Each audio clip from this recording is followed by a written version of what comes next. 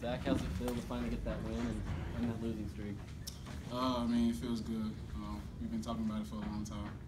Wanting to get this uh, team back on track and uh, do what we do best and win some games. So, uh, I mean, it felt good. How about just being more involved? And then you talked about wanting to, you know, run the ball a little bit more, and it seemed like they were, you know, they went to you starting the second quarter. I mean, that was the, was the game plan this week uh, to get the run game going because it opens up a lot of things for us. As you've seen today, he was able to uh, complete a lot more deep passes. And uh, defense was off balance the whole game, so it helped us a lot this week. What changed in the second half? I mean, it seems like you guys really just came out, obviously guns blazing with that touchdown immediately in that first play in the second half. Uh, I think we got our swag back in that first half. We did a lot of good things, and uh, we had a lot of bad things going on. We had a lot of penalties in the first half, and uh, we knew we cut down the penalties. We were more explosive than we were in the first half, and uh, we just came out and jumped on like we wanted to.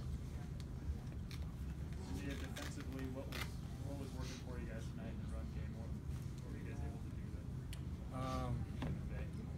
I feel like we just played more physical today, and uh, we just we took it to them. We didn't we didn't like wait around and wait for things to happen. We just took it. Do you feel like that was kind of a common theme the last few weeks? Is, you know, the other team kind of delivered the first punch and you guys had to respond. Yeah, it, it, it you know having those couple losses and or more than a couple losses, you know it kind of drags on the team. But I feel like as we come into practice, we come out, we just show up when the game day comes. Tyler, how much of a relief is it feel like this offense is maybe finally back on track?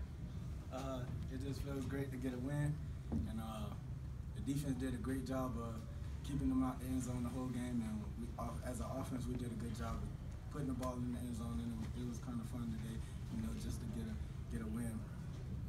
What changed for you from a mental standpoint there going into the second half? And obviously that that first play, that 75-yard touchdown, really jump-started things. Uh, we talked to each other during the uh, during halftime, and we was like, we got to come out strong when we come in halftime. Uh, come out at halftime because we know we're getting the ball, and we just got to come out. And we came out, threw one to Troy, and you know he ran for his life and got a touchdown.